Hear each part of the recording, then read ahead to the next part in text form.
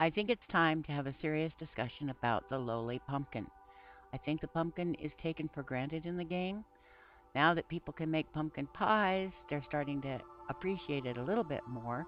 And they've always goofed around with putting on a pumpkin head, either for fun or joking around, or because an Enderman can't tell you're looking right at them if you're wearing a pumpkin, so you can sneak up on them and attack them. Because if you look at a, an Enderman directly, of course, it will get all furious and attack you. Uh, it can be a little nasty. So people haven't taken the pumpkin very seriously, and I, as a vision impaired person, am extremely grateful for the pumpkin.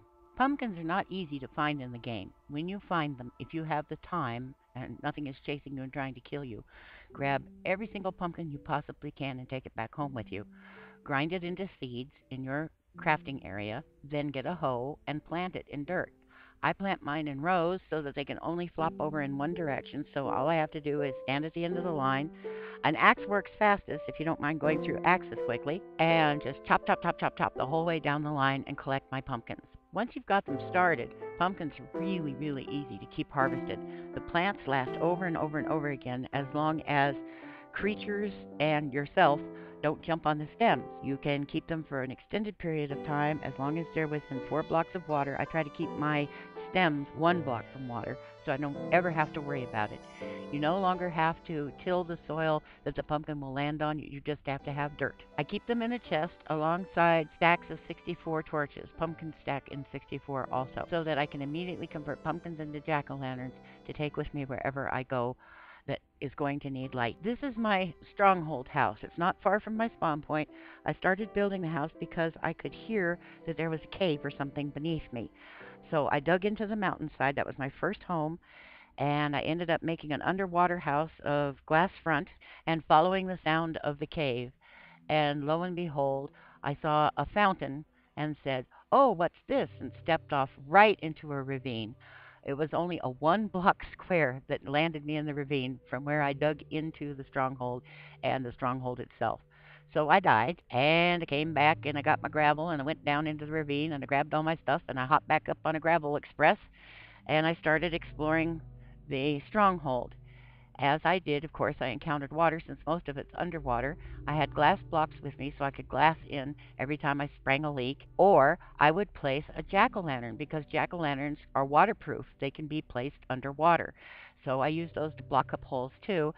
So my entire three-story underground glass-covered stronghold house is lit by jack-o'-lanterns. And the jack-o'-lanterns make it even more visible even during the day because it's underwater. It's hard to see underwater. Now this is obviously a plain old tree. It's in an area of the continent. I live on an island in a swamp and I had to go very far to get to a continent so I could find things like chickens and cows and I found pumpkins and I found a village that had potatoes and carrots. This little tree is on a part of the island where I haven't really hung out very much yet, and you see how dark the surrounding area is, and how easily it can spawn mobs, and how easily I could run my boat aground if I'm not paying attention. Now, what I've seen a lot of other players do, both in videos and in playing with other people, is to immediately surround the tree with torches to light the area so that hostile mobs can't spawn. This uses a lot of torches. To tell you the truth, the flickering of the torches and the little smoke trails if you have your particles on full, I think they create a burden on small servers because all of that animation is information that the computer has to digest and output. Jack-o'-lanterns, on the other hand, don't flicker and they don't make smoke. It's just solid light. I think it's less of a burden on people's servers. I don't know, but I'm guessing. Now, when one is first spawning and only has a few hours to hustle around and get shelter and has to cut down trees to make tools and torches and so on, what I've seen is the common behavior is everybody cuts down one whole tree. I've been doing it too, from top to bottom, or from middle to top and then the bottom stump. I think that this may be a mistake if you spawn in a place where there's a lot of trees, a forest or something like that. I think the best way to do it would be to run around and at eye level chop out one block from each tree all around you. Now, a few leaves will deteriorate, and that means you'll get some saplings, and that might mean you get some apples as well. But mostly the leaves will stay intact because the wood is mostly intact. So what I would do is run around and chop an eye level block out of as many trees as possible until I had enough trees to go ahead and make my tools, make some charcoal if I couldn't find any coal, and start making torches.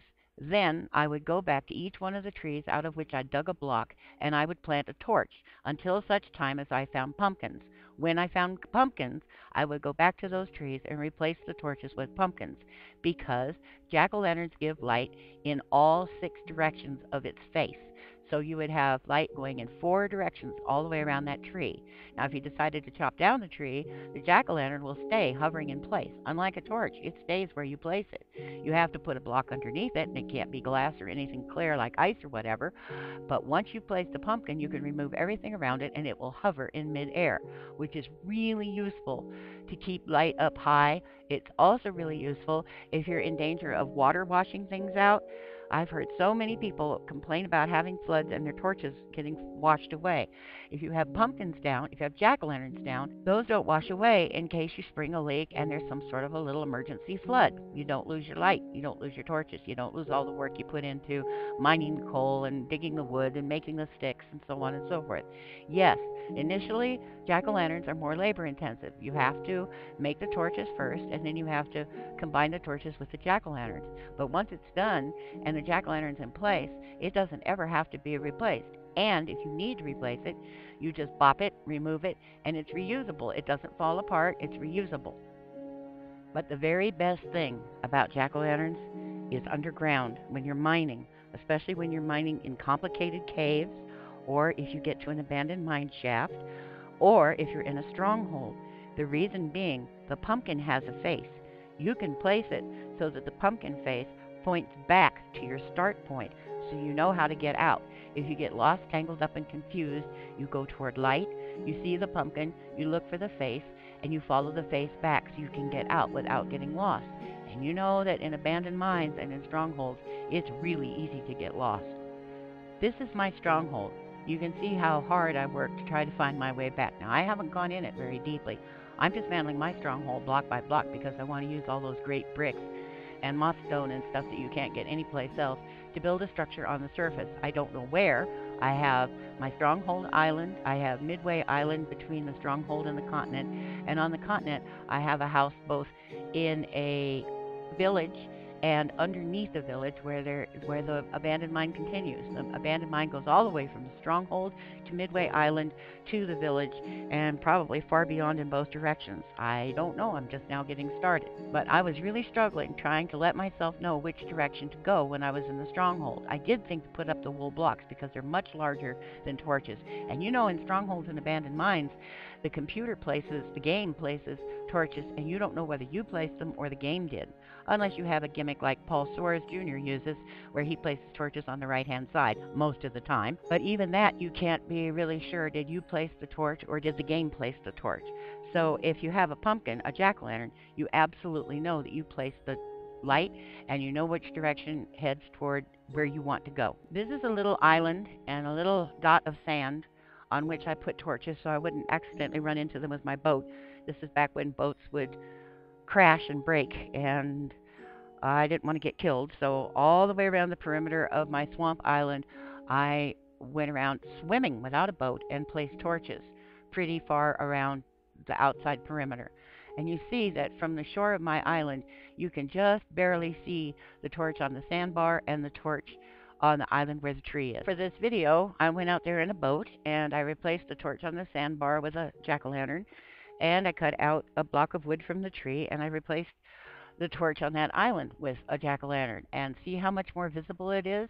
The first picture with the torches was taken from the boat on the way to the island.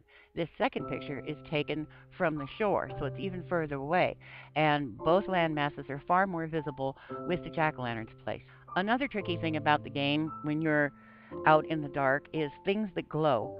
And the two worst culprits that I've come across are yellow flowers and brown mushrooms. They seem to glow from a distance and they can send you in the wrong direction because you think you think you're approaching a torch. Like say you went way out too far, you ran out of torches, you're trying to find your way back, you see something glowing, and you start going toward it. Well, if it's a mushroom or a yellow flower, you may still be going the wrong way, and that may, well, that may make me panic and not know which direction to go. So you see how the flowers on that island are glowing? That's that can be dangerous. That can send you out in the wrong direction at night. After I placed the torches on that other little island and sandbar, on the way back in, I took this shot of my island. You see how completely visible everything is? The soft glowing light, the trees are all lit.